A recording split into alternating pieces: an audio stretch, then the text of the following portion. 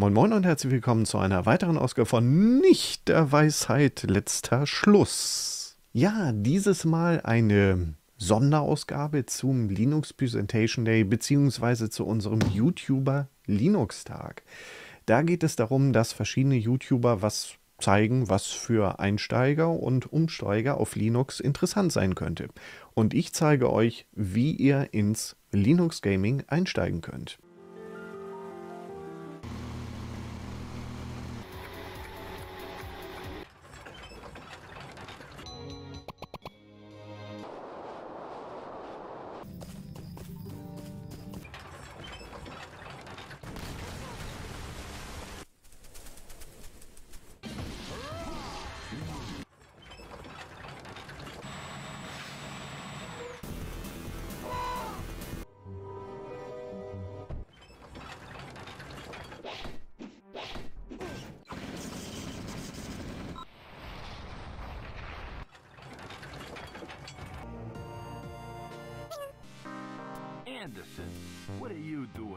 Erstmal grundlegend ein bisschen zu diesem Video. Also wie ich schon gesagt habe, da sind verschiedene YouTuber, die was dazu machen, zu verschiedenen Einsteigerthemen. Das Ganze ist ein Gemeinschaftsprojekt für den Linux Presentation Day bzw. unseren YouTuber Linux Tag. Wir haben eine Projektseite, wo alle Beiträge zu finden sind. Das Ganze ist unten in der Videobeschreibung verlinkt.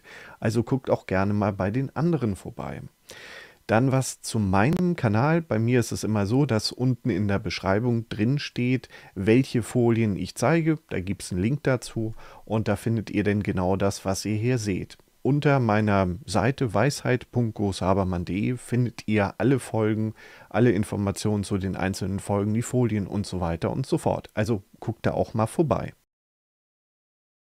Wenn ihr jetzt ganz neu sein solltet bei Linux oder überlegt, ob ihr mal Linux ausprobieren sollt, da werdet ihr vielleicht erschlagen von ganz vielen Informationen, solche Begriffe wie Distribution, Desktop und so weiter, also so Dinge, die man bei anderen Betriebssystemen nicht kennt.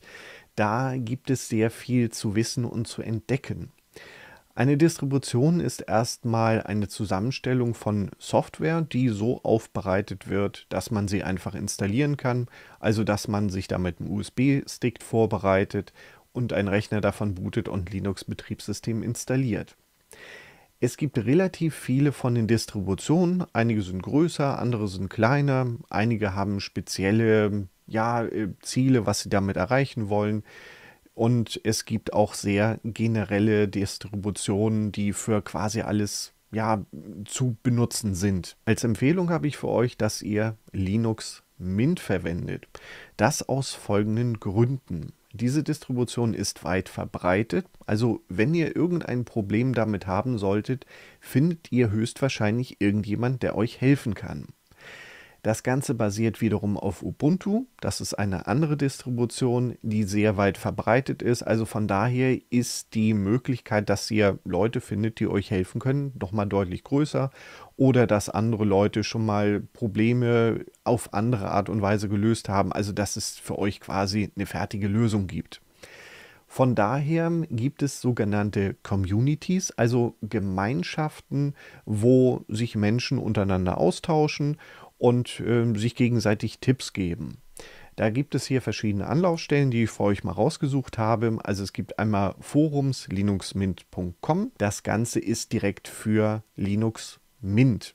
Wenn ihr was Deutsches bevorzugt, könnt ihr forum.ubuntuusers.de nehmen richtet sich eigentlich an Ubuntu-Benutzer, wie der Name schon sagt, aber da es eine sehr große Schnittmenge zwischen Linux Mint und Ubuntu gibt, könnt ihr da auch eure Fragen stellen und bekommt höchstwahrscheinlich eine Antwort. Ganz allgemein ist das Forum von Linux Guides. Dort ja, unter forum.linuxguides könnt ihr eure Fragen stellen. Das ist deutschsprachig für alle möglichen Distributionen und da könnt ihr eure Fragen loswerden. Und beim Linux Mint gibt es drei Geschmacksrichtungen. Ähm, letztendlich ist es für euch quasi eine optische Sache. Die sehen alle relativ ähnlich aus. Ein bisschen technisch sind sie anders, aber ihr könnt mit jedem Desktop, mit jeder Edition genau dasselbe machen.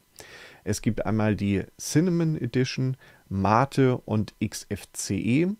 Wenn ihr keine Ahnung habt, würde ich einfach sagen, ihr nehmt XFCE. Das ist relativ genügsam. Also es geht nicht so viel Systemleistung verloren für irgendwelche Grafikeffekte, die ihr vielleicht lieber für die Spiele haben wollt. Hm, dass es dort ein bisschen flüssiger läuft. Aber alles andere ist auch quasi kein Beinbruch. Könnt ihr so und so machen, aber wenn ihr keine Ahnung habt, nehmt einfach XFCE und damit seid ihr durch.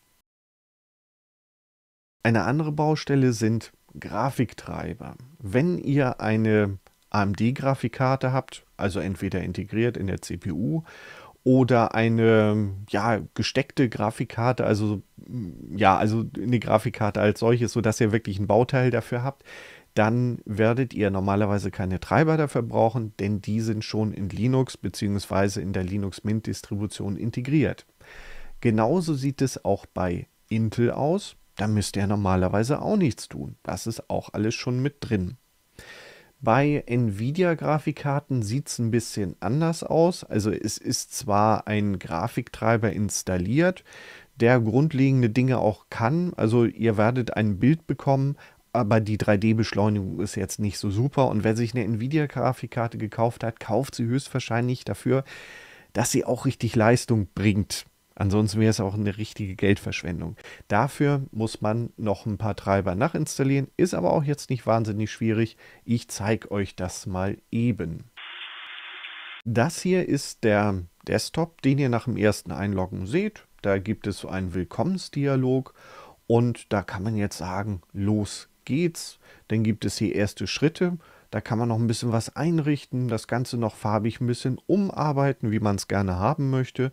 Es ist erstmal so ein bisschen schwarz-düster. Wer es mag, kann es nehmen. Wer andere Farben bevorzugt, nimmt was anderes. Überhaupt kein Problem.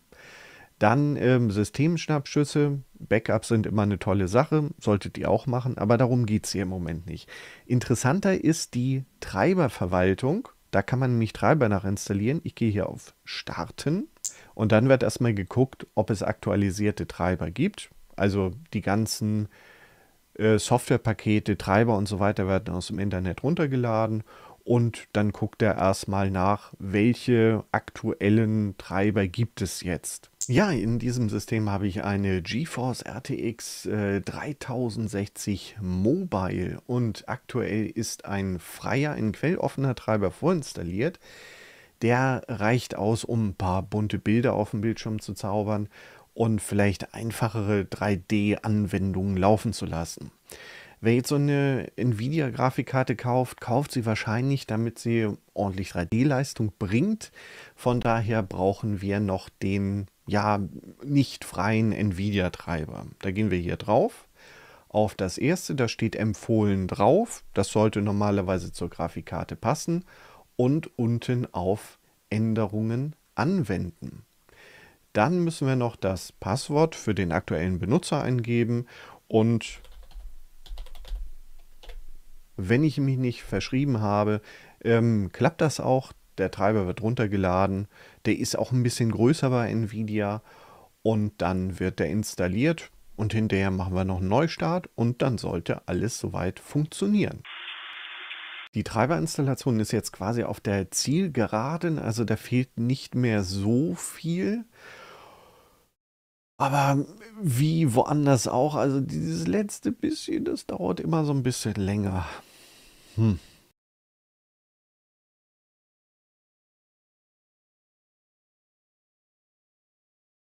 Die Installation von dem Treiber ist jetzt auch wirklich durch und als nächstes muss ich den Rechner einmal neu starten, damit die Treiber auch wirklich geladen werden. Also dieser freie Treiber, der ja immer noch im System drin ist, der muss quasi da erstmal rausfliegen und der richtige Nvidia-Treiber soll wirklich geladen werden und damit wir wirklich alles damit können, was diese Grafikkarte auch kann. Also auf Neustart klicken und äh, neu starten.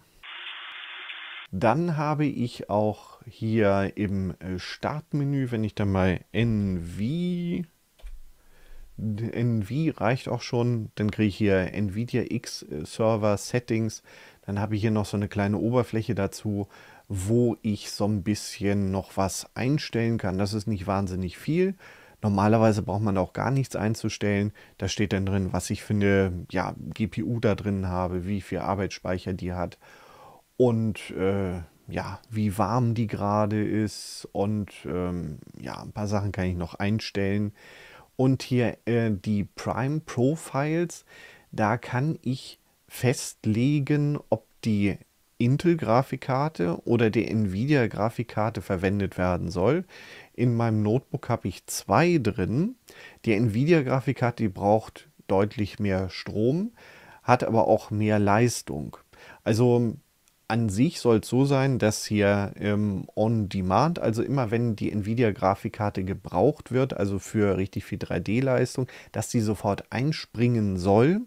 Wenn das Ganze nicht funktioniert, also dass die Intel-Grafikkarte weiterhin aktiv bleibt, dass irgendwelche 3D-Spiele ruckeln oder so, dann könnt ihr auch sagen, hier Nvidia Performance Mode dann läuft das System die ganze Zeit über die Nvidia-Grafikkarte auf Volldampf, also verbraucht eigentlich mehr Strom, als es sein müsste.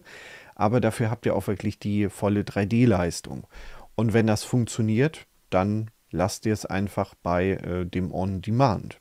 Kommt aufs Spiel drauf an, ob das richtig erkannt wird oder nicht. Überwiegend funktioniert es, aber es gibt ein paar Sachen, wo es halt leider nicht geht. Nachdem wir jetzt einen Grafiktreiber installiert haben, beziehungsweise damit zufrieden sind, was schon von vornherein installiert ist, wenn ihr eine AMD oder Intel Grafikkarte habt, dann brauchen wir natürlich auch noch ein paar Spiele, denn ohne Spiele kann man nichts spielen. Wir haben verschiedene Möglichkeiten. Es gibt einmal native Linux-Spiele. Da finden sich einige im Paketmanager. Das ist quasi so dieser App-Shop oder wie auch immer man das nennen möchte von einem Linux-System. Da sind sehr viele ja, Spiele schon mal mit bei, also freie Spiele. Die sind mehr oder weniger gut, aber ja, da ist eine Menge bei, damit man sich schon mal die Zeit vertreiben kann. Wenn das nicht reichen sollte, gibt es FlatHub. Das ist, ich nenne das jetzt auch mal App Shop. Ähm, da könnt ihr auch weitere Software nachinstallieren und da gibt es auch eine Kategorie mit Spielen. Die könnt ihr installieren und nutzen. Dann gibt es natürlich die üblichen Verdächtigen, sowas wie Epic, Steam, GOG ähm, oder auch die Homepage des jeweiligen Spiels oder des Anbieters oder sowas wie Humble Bundle. Viele von den Spielen werden allerdings bloß für Windows rausgebracht hat eine größere Verbreitung, aber das ist insgesamt kein Beinbruch, denn viele von diesen Windows-Spielen kann man auch unter Linux laufen lassen. Da gibt es so eine Emulationsschicht, die dafür sorgt, dass sich das Spiel wirklich zu Hause fühlt, dass es meint, es läuft auf dem Windows, obwohl es auch auf dem Linux läuft. Das funktioniert für diese ganzen Epic-Spiele, die es eben bloß für, für Windows gibt. Also die haben keine Linux-Spiele. Dann gibt es quasi die Gemischtwarenläden, wo es ähm, teilweise Windows- und Linux-Spiele gibt. Also bei Steam gibt es einige Sachen, die nativ unter Linux laufen und andere laufen bloß unter Windows. Kriegt man auch überwiegend zum Laufen, wenn es Windows-Titel sind. Bei GOG ist es ähnlich, bei Good Old Games. Der Vorteil an den Spielen dort ist, dass die DRM-frei sind. Also ihr könnt Installationsprogramme runterladen und wenn GOG mal pleite sein sollte oder irgendjemand anders, habt ihr es immer noch zu Hause. Ihr könnt es installieren. Finde ich eine nette Sache. Und wenn ihr Geld ausgeben wollt, ähm, würde, würde ich euch empfehlen, dass ihr darauf achtet, dass es DRM-frei ist. Ja, denn äh, von der Homepage des jeweiligen Herstellers oder des Spiels könnt ihr einige Spiele runterladen, die zum Beispiel als App-Image verfügbar gemacht werden. Das ist letztendlich eine Datei, wo alles drin ist. Also das ist eine ausführbare Datei und dort gibt es auch die ganzen einzelnen Bestandteile von dem Spiel, also Grafiken, Musik, Sounds und sowas. Das ist da alles mit drin in so einem ja, Image, also in einem App-Image, so heißt das Format. Ja, und bei Humble Bundle kriegt ihr auch teilweise DRM-freie Linux-Spiele. Ja, dann noch ein äh, Tipp am Ende. Ihr könnt äh, bei Epic jede Woche ein bis zwei Spiele gratis mit dazu kriegen zu eurem ja, Account. Die müsst ihr dann äh, ja quasi äh, mit einsacken. Also ihr müsst euch da jede Woche einmal einloggen. Donnerstags ist das üblicherweise. Und dann könnt ihr sagen, ja, das Spiel will ich zu meiner Bibliothek dazu haben. Und diese Spiele sind von sehr, sagen wir mal, unterschiedlicher Qualität. Also teilweise weiß man wirklich, warum es die mal gratis gibt. Also die sind wirklich nicht so toll. Aber es gibt auch andere Spiele, die da kostenlos sind, die verschenkt werden, die durchaus ganz nett sind. Also nehmt das einfach mit, wenn ihr sowieso Epic haben wollt.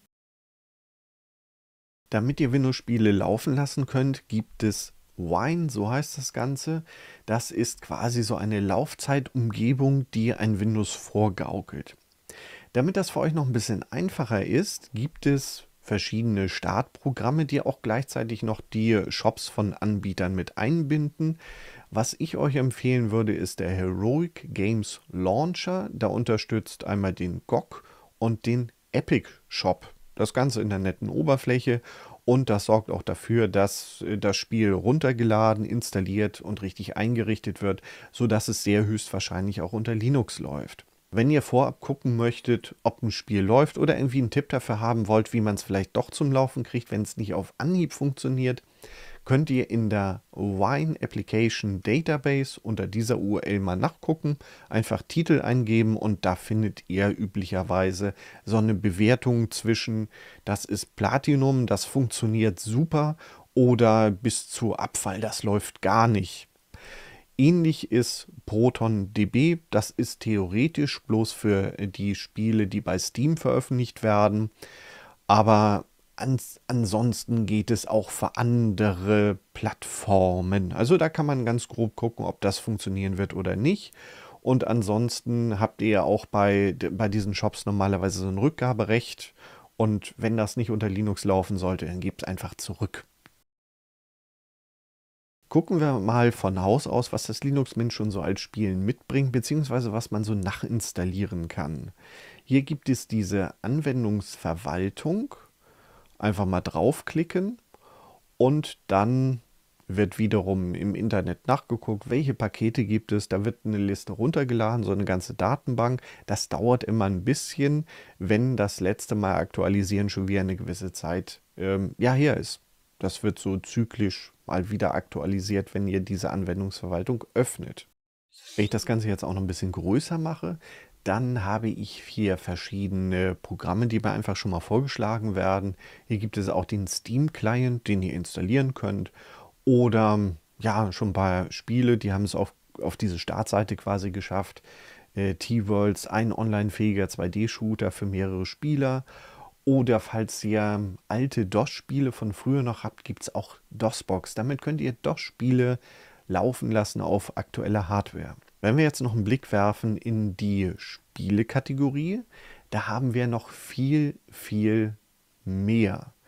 Das können wir alles installieren und da gibt es ja schon mal eine ganze Menge.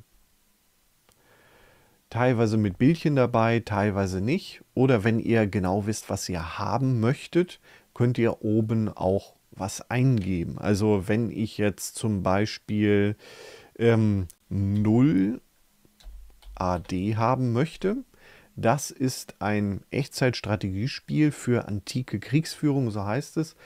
Ähm, und äh, das ist schon mal sehr, sehr nett anzusehen und äh, da kann man sehr viele Stunden in Echtzeitstrategie im ja, in der Antike drauf verwenden. Kann man auch übers Netzwerk oder auch übers Internet mit mehreren Leuten spielen oder über den Computer. Also wenn ihr sowas möchtet, dann installiert ihr das einfach über Installieren.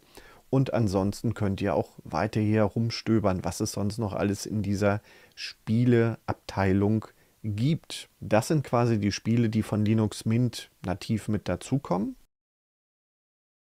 Wenn wir jetzt einmal zurückgehen und hier auf Flatpak draufgehen, da haben wir auch noch mal einige Sachen mit dazu. Das sind die, die nicht unbedingt bei Linux Mint mit dabei sind, die man aber auch einfach mit dazu installieren kann. Hier steht unten FlatHub dabei. Das ist quasi so ein, ich sag mal wieder App-Shop.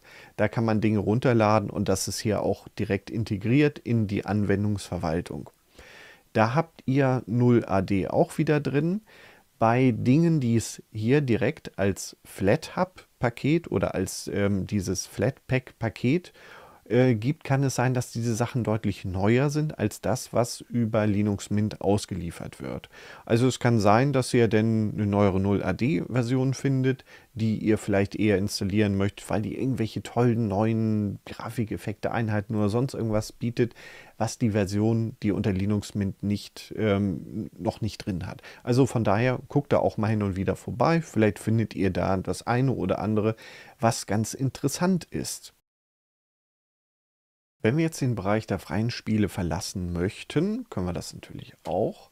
Da würde ich euch den Heroic Games Launcher empfehlen, also Heroic Games ähm, Launcher.com.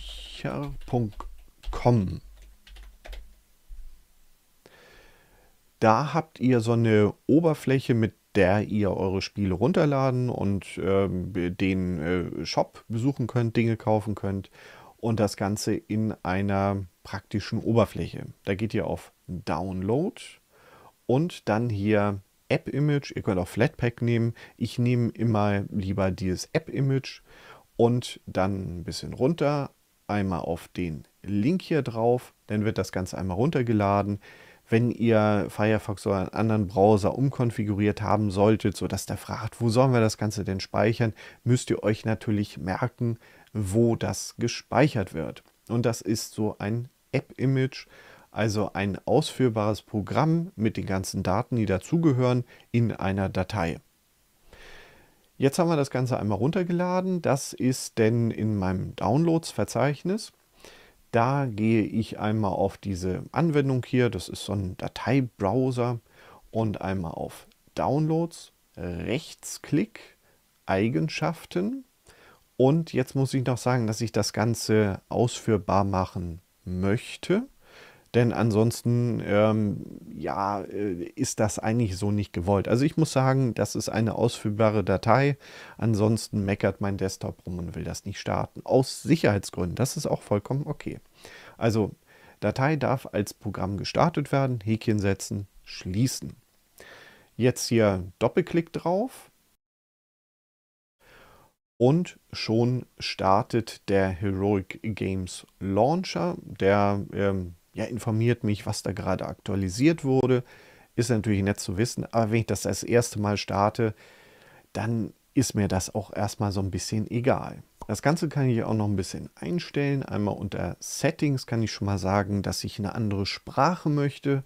Auf Deutsch finde ich es immer irgendwie ein bisschen schöner.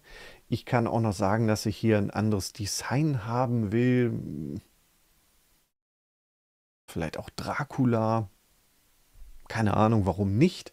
Heute mal Dracula. Und was das Wichtige denn ist, wenn ihr schon ein Konto habt bei ähm, Epic oder bei GOG, dann könnt ihr euch natürlich anmelden, damit ihr eure Spiele auch benutzen könnt.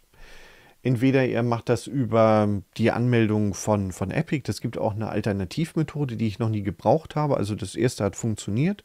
Und bei GOG ist es genauso. Also einmal Epic Games Anmeldung draufklicken, da ist so ein integrierter Browser drin und da gebt ihr Benutzernamen und Passwort ein und dann seid ihr auch damit verbunden. Also hier draufklicken und äh, E-Mail-Adresse und Passwort eingeben. Ich habe das jetzt mal hier reingepackt. Äh, ich verpixel das auch so ein bisschen, damit ihr nicht wisst, was für einen Account ich da habe. Und dann könnt ihr das Ganze merken lassen. Dann werdet ihr nicht bei jedem Anstart nach Benutzernamen und Passwort gefragt. Könnt ihr natürlich auch weglassen, wenn ihr jedes Mal das Passwort eingeben möchtet. Dann gehe ich auf Jetzt anmelden. Da muss ich noch so ein blödes Capture lösen. Irgendwas, was Hunde enthält. Also ich, ich, finde ja eigentlich, nichts von dem ist ein Hund. Das sind alles irgendwelche generierten Dinge. Da, da ist eigentlich nicht ein Hund bei. Und wenn die Anmeldung doch endlich mal geklappt hat mit den ganzen Hunden und so, dann könnt ihr hier zur Bibliothek gehen und könnt das Ganze sehen, was ihr da schon gesammelt habt oder auch bezahlt habt. Und bei mir hat sich im Laufe der Zeit so einiges angesammelt und äh, ich kann jetzt irgendwas davon nehmen, klick da drauf, das hier zum Beispiel, sage dann hier installieren, dann kann ich nochmal sehen, in welchem Verzeichnis das Ganze installiert wird und dann wird auch mal ermittelt, wie groß das Ganze ist, wenn es runtergeladen wird und wie es installiert ist. Und dann sage ich hier installieren und dann läuft das soweit los. Genau, und was ich auch noch dazu brauche, ist ähm, der Wine Manager. Ich brauche noch eine Laufzeitumgebung. Also im Moment habe ich noch keine auf meinem System installiert. Da gibt es zwei Geschmacksrichtungen. Gibt es einmal Wine.ge und Proton.ge. Normalerweise äh, funktionieren beide und ähm, ich würde dann sowas nehmen wie hier Latest, also immer das Neueste. Das lade ich dann auch nochmal runter. Das dauert auch wieder ein bisschen, je nach Internetverbindung. Und ähm, ja, dann habt ihr es nach einer gewissen Zeit alles auf der Platte soweit drauf. Und wenn es dann soweit ist, könnt ihr es dann auch spielen. Und parallel hier unten steht auch, wie weit das äh, schon installiert ist, dieses Spiel, was ich da angeklickt habe.